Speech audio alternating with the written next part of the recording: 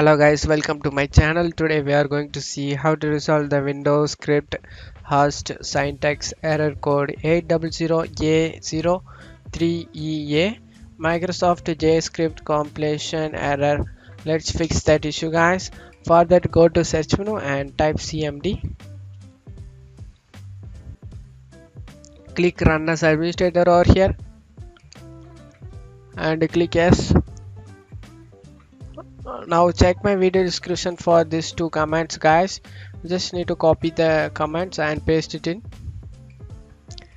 Tap the bar right click edit and paste it in. Press enter.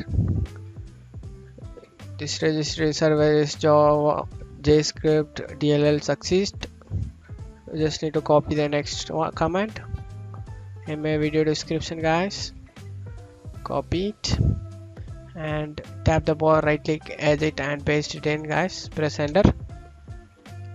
This is also vbscript.dll succeed. Close out of here after finishing this.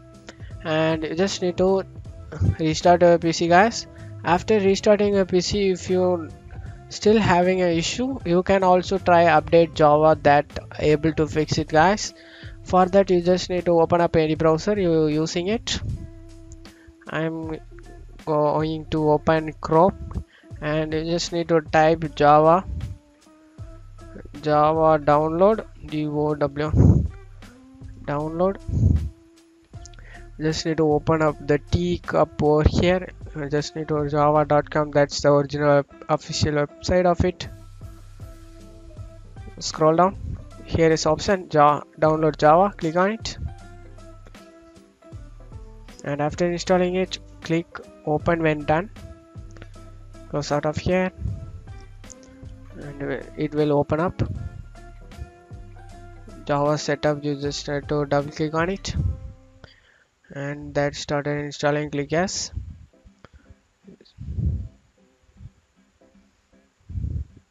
Click install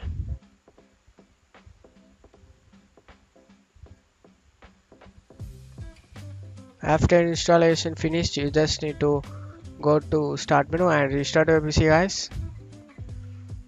After restarting your pc your problem has been resolved. That's it for today's video. I hope this tutorial definitely helpful guys. Give me a like and subscribe. Thank you